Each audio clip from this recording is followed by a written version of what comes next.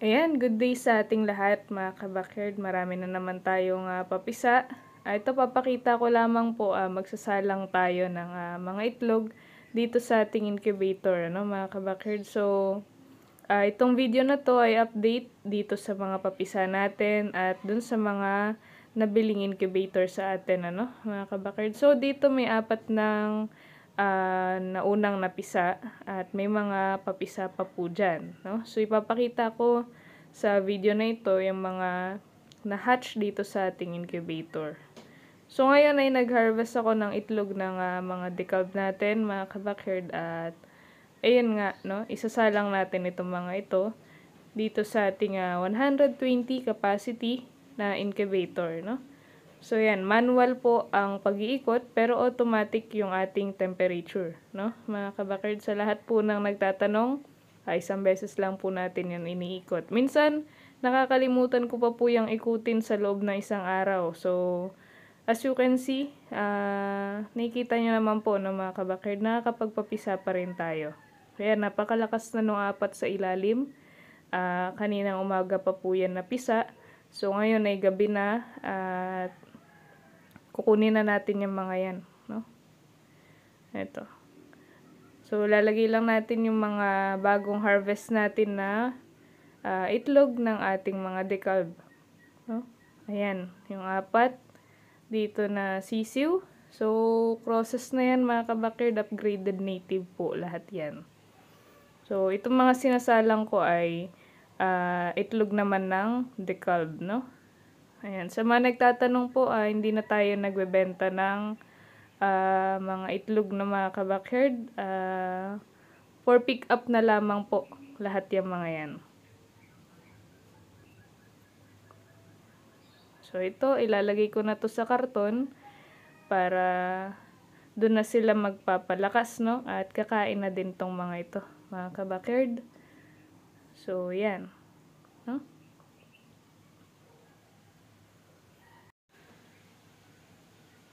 So, ayan, apat sila. At bukas, panigurado, meron na naman pong bagong mapipisa. Dahil may mga in-expect pa po ko na mga itlog ng Brahma na mapipisa dito, no? So, ayan.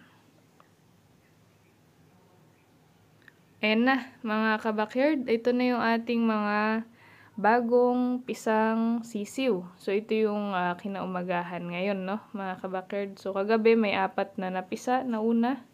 At ngayon naman ay bibilangin pa lang natin. So, yan, ikutin ko lang yung mga ibang itlog. Ito, meron dyan sa taas. Mapipisa na. At sa ilalim, ito po yung mga brahma natin. No? Ito yung mga kahapon na hindi pa napisa. Uh, ah, kagabi, I mean, no? So, yan, no? Yung mga kagabi po na inaantay natin. Ayan na sila, mga kabakyard. Uh, brahma yung iba dyan. At yung iba naman upgraded natives, no? So, yan po. So, yan. Marami pa pong mga mapipisa na susunod. Ayan yung mga iba pa na inaantay natin. Yan, no?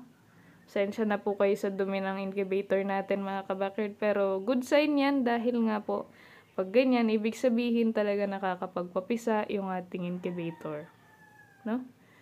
Ayan. Isang beses ko lamang yan iniikot. Ayan na sila, mga kabakar. Yung mga bagong salang ko kagabi, andyan lang din sa taas.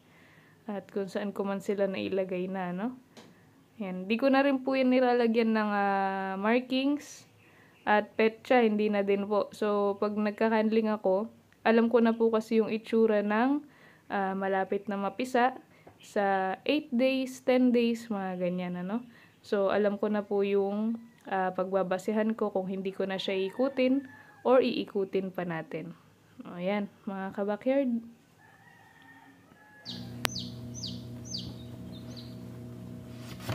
Ayan. Ayan. Madami nang napisa dito sa ating mga ano, uh, sinalang ano. Ayan na sila mga kabakyard. Isang beses ko lang yan iniikot. Ayan.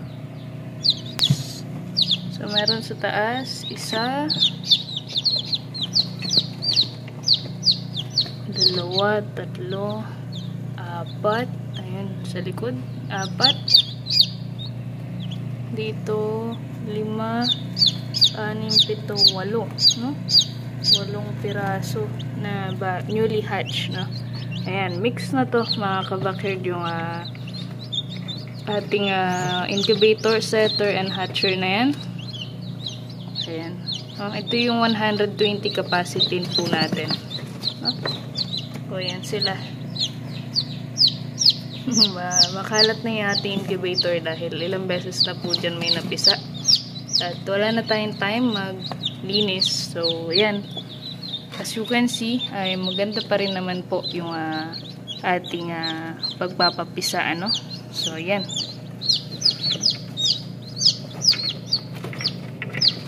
Tatakpan ko lang dahil meron na pong mga napipisa para hindi sila malunod, no? Ayan. So, sana bukas ay mas madami pa po. Isang beses lang ikutin yan sa maghapon. So, ngayon hindi ko nga po naikot dahil busy tayo sa paggawa ng mga incubator natin. Ngayon, hindi ko naikot yung mga bagong salang. So, maya-maya, kapag ano, ay iikot ko na po, no? So, yan, hindi ko naiikot minsan. Minsan, naiikot natin isang beses. So, ganun po. Salang lang naman tayo ng salang. Ayan.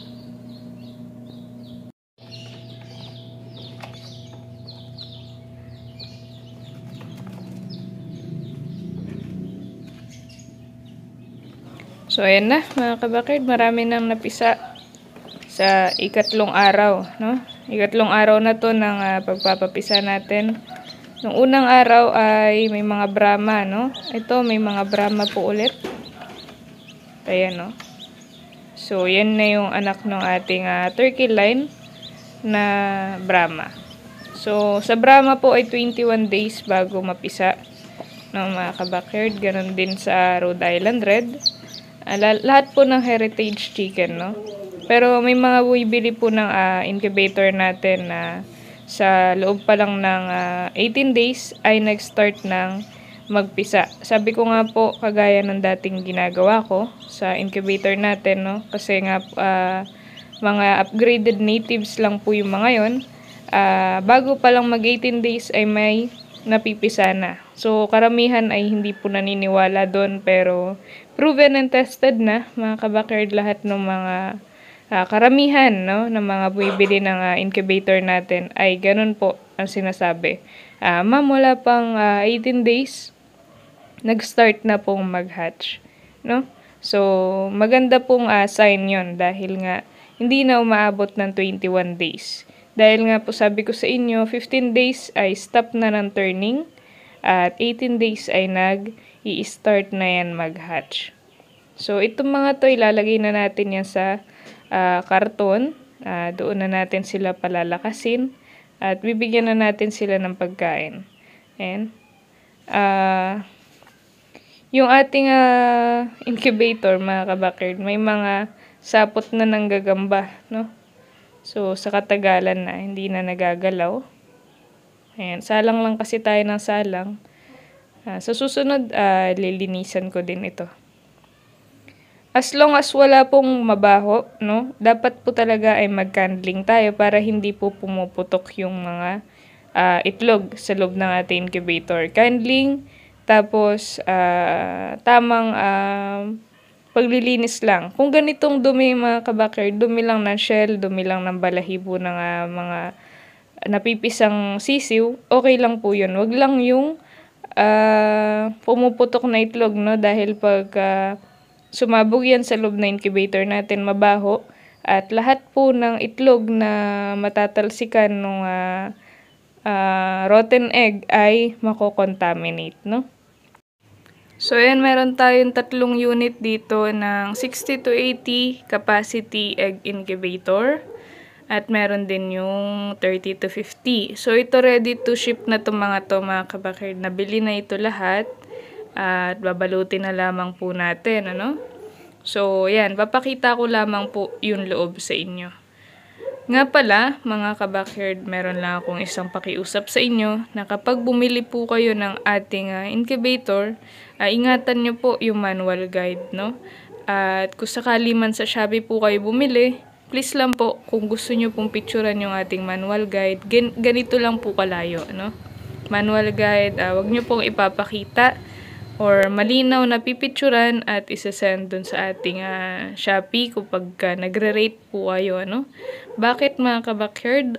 Ah, umiiwas lamang po tayo sa mga tao na gumagaya dahil marami na po, sa totoo lang, marami na akong kaparehas na itsura. Gayang-gaya po yung ating incubator na mga gumagawa. Wala po akong sama ng loob sa mga yon mga kabakyard, no? Ang concern ko lang is doon po sa mga tao na buibili na Limbawa, kaparehas nito. Limbawa po na subscriber ko kayo at makita kayo na nagbebenta ng ganitong kamukhang kamukha ng incubator natin. At akalain nyo na ako may gawa. Hindi po. Marami na pong gumagaya ng ating ah, design, no? Dahil may mga gumagawa po ng incubator mga kabakyard na kapag nabilhan mo na, ay hindi na po sasagot, no? Kawawa po yung bumili, no mga kabakyard. Kaya iniiwasan ko po na ipakita ninyo yung ating manual guide dahil nga ah, doon na yung mga ah, experience ko sa pag incubate At halimbawang may problema na wala doon sa ating manual guide at tatanungin ni ah, ni buyer doon kay ah, seller ay wala na pong maisasagot. So kawawa naman po yung buyer, mga kabakyard. So ito papakita ko sa inyo yung ating 120 capacity na incubator. Uh, isa po ito sa mga bestseller natin. Ayan, yan, kinakalibrate ko po ito. Bound to Bohol to mga kabakyard. Bohol, so ayan, 120 capacity egg incubator with uh, free na manual guide at yung ating uh, dalawang bombilya at yung water tub, no? So, ayan, kinakalibrate ko siya. Ayan na, no? Uh, 37.8 yung ating uh, temperature dun sa ating uh, thermostat. So, ito, parehas lang din sila, no? 37.8. At sa mga bibili din po na incubator, please mag-ingat po kayo. Alamin nyo po na talagang may background po or talagang nag incubate or breeder yung ating bibilhan ng uh, incubator dahil madali pong gumaya, madali pong magbenta, pero hindi po natin alam yung kalidad ng produkto kung talagang proven and tested nga po talaga, no? So, yun lamang sa ngayon, mga kabakard, ayan, pinapakita ko naman sa inyo yung ating incubator. Kaya, karamihan ay talagang gumagaya na lamang po. So, yan mga kabakyard, uh, mag-ingat po tayo parate. Uh, happy farming and happy breeding po sa ating lahat.